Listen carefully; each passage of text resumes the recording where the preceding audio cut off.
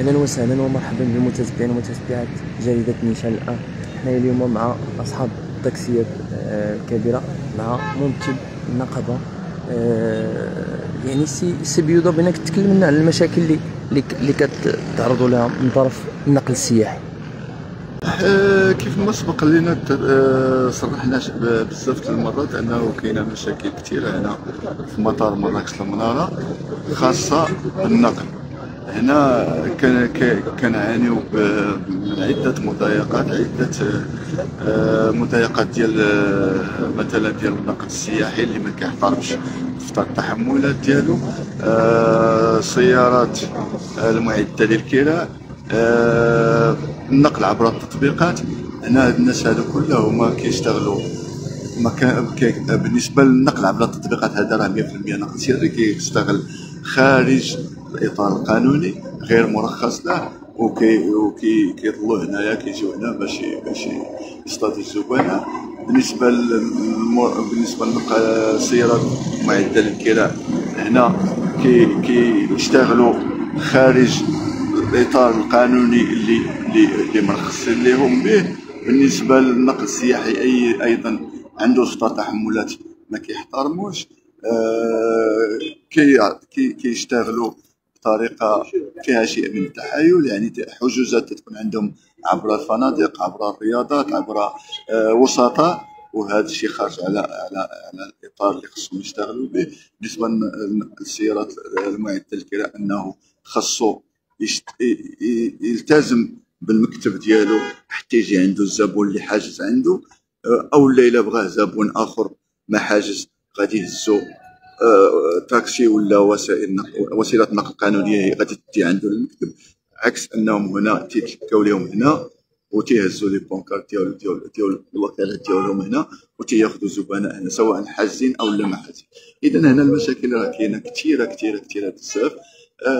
كيف كتعلموا بأنه بالنسبة لسيارة الوزارة آه، النظام ديالها كتصبر عليه. شركة دابا منظمة غاديه الأمور مزيانة مزيانة. امور مزيانة الحمد لله. ولكن ولكن حنا باقي ضيع باقي ضيع علينا حقنا باقي ضيع علينا الكورسات ديالنا.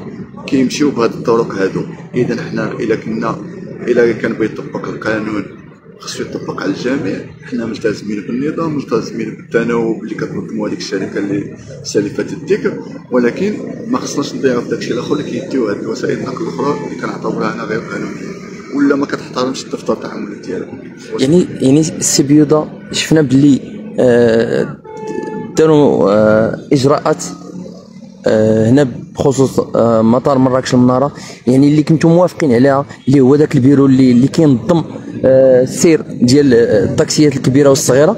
يعني نتوما طبقتوا بزاف بزاف القوانين اللي, اللي تفرضت عليكم هنا في مطار مراكش المنارة اللي كان بتوافق تفاوق معكم ولكن هاد الناس اللي اللي, كيجيو كيديو لكم يعني يعني داك لقمة العيش ديالكم كيجيو كيديوها لكم بغير قانون حنا ما عمرنا ما كنا. ما عمرنا ما كنا النظام سواء في شركة ولا عن طريق الإدارة أو لا بيناتنا أو لا حنا ما كان ما, بالعكس بالعكس حنا من من لقينا دابا اللي نظمنا حنا ماشي مشكل مزيان مزيان ولكن خاص إلى إلى طبعا كان توافق ما بين ما بين الشركة وما بين آه، ما بين ممتلكات القطاع وما بين الإدارة اللي هي الولاية. ولكن خاص حتى داكشي اللي خاص حقنا ما يتهضمش.